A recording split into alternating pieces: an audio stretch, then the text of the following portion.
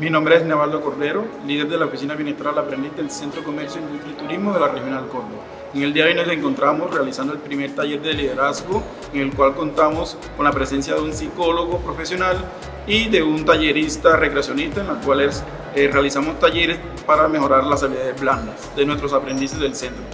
Con esta, con esta actividad eh, beneficiamos alrededor de 200 aprendices de diferentes programas de formación realizada acá en el Centro Cultural Guillermo Valencia. Con esta actividad buscamos promover la retención de nuestros aprendices del Centro de Comercio, Industria y Turismo de la Regional Córdoba.